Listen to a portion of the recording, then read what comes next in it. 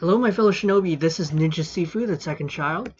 I'm here at Ordinary once again. You know, the game that I uh, showcased around two days ago. So, I'm back in this game, and I'm going to review the starter combat, which eh, it's not much. So, it's kind of like an introduction part two. So, when you spawn in Ordinary, uh, you after you've done all the stuff, you basically, you know, jump down from the roof or whatever. You basically have this, cripple combat. Now, if you go to the gym and you grind your stats quite a bit, probably have your power level uh, reach, you know what, just skip to 2 because people will hound on you for being a newbie and not knowing uh, and ignoring everyone's advice.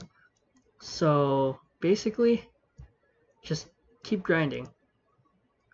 And then you go talk to John. He will say, so you want the cripple to teach you. As you uh, might not know, John Doe is the main character of Unordinary, the webtoons comic that this game was based off of. He's a cripple, supposedly, and he has no powers. So he teaches you his technique, shove and run. Now, before we get to shove and run, uh, I would like to showcase the Cripple Combat M1 string. I think it's probably still the best M1 string in the game, even though it's the starter combat, and I don't know, that's kind of saying something. When the other combats have a longer cooldown than Cripple Combat's cooldown after the M1 string, I, I think you might need to buff all the other combats. Maybe like decrease the cooldowns for each string ended. I don't know.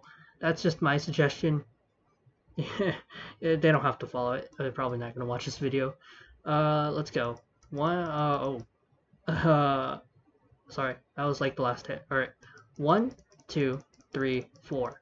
One, two, three. One, two, three, four. So, basically, you have these four hits. I think I can describe them in actual moves. Alright, so first one's a straight, second one is a hook, third one is a, like a like a elbow targeting the midsection, and then the last one's interesting. It's a it's what you call a double axe handle. Now, uh, I've learned these types of moves, their names from uh, professional wrestling and kung fu or martial arts or MMA. So I'm quite the fanatic when it comes to uh, hand-to-hand combat. I don't know everything, but I do know at least the basics. So now we go to shove and run, which you can use while running. You shove. That's it. Also, Shinobi, if you're wondering why I'm not using it on any people, it's because I'm already at the state where I can probably one-shot most of the server. And I say most because people grind harder than me. Don't take that out of context. They power level or power grind literally throughout the night. They leave auto clicker on or the macro on and it's it's it's tough competition trying to be the best in this game. So these are my stats right now.